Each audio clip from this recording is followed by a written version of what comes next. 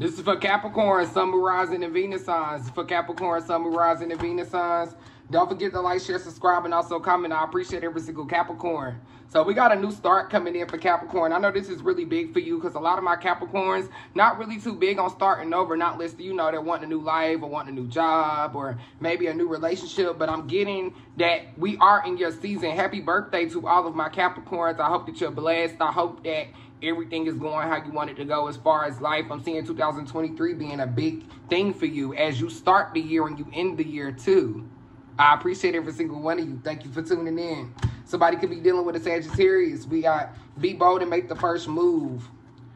Take time to breathe out. The into a tough cycle approaches. Someone could be dealing with another Capricorn. So I'm seeing something that just kept repeating in your life coming to an end. This could be with a Virgo for some of you. We got it's time to rather give than take. So for a lot of my Capricorns, right now we are in your season. Christmas just passed by, so I'm pretty sure you received a lot. It's time to give back to those who've given to you. I'm getting for a lot of you, this could be a Pisces. We got meditate and contemplate.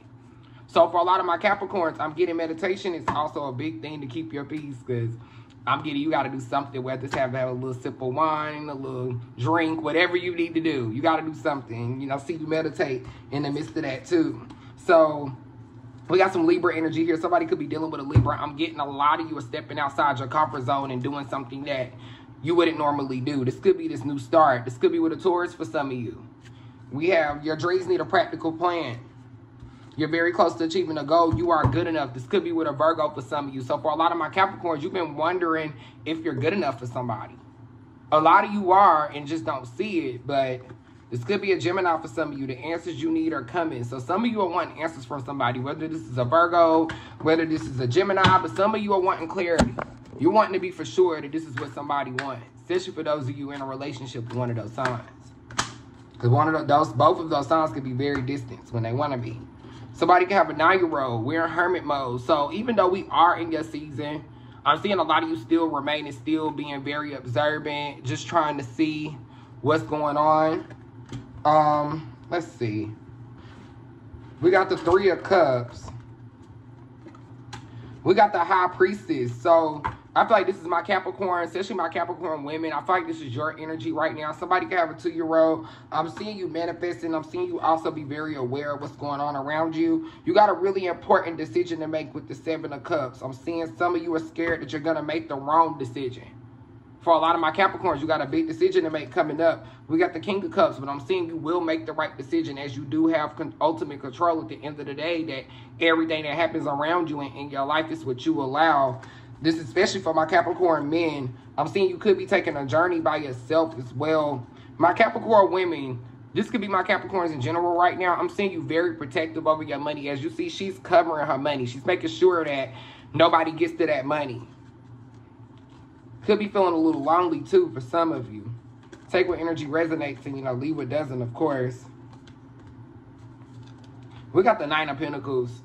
Somebody's coming in with some money. Somebody's coming in with some money. I'm getting that. A lot of you just got excited about that. Somebody's coming in with a coin. We got to love yourself first. Your self-respect makes you more romantically attractive. So for a lot of my Capricorns, showing that you love yourself is what's going to make somebody love you more. Some of you could be in a honeymoon phase with somebody. You could have even took a vacation, be on a trip right now for Christmas or for the New Year's.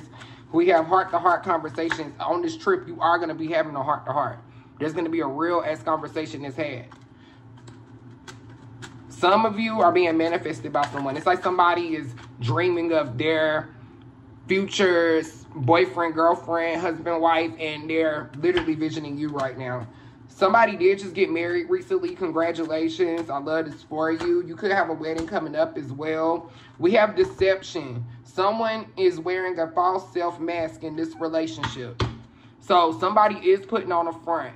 Just be a little aware of this. For those of you in a relationship and you feel like your partner's not really being themselves, you might want to dig into that just a little bit more. We have stay optimistic about your love life. Positive thinking and faith will bring you romance.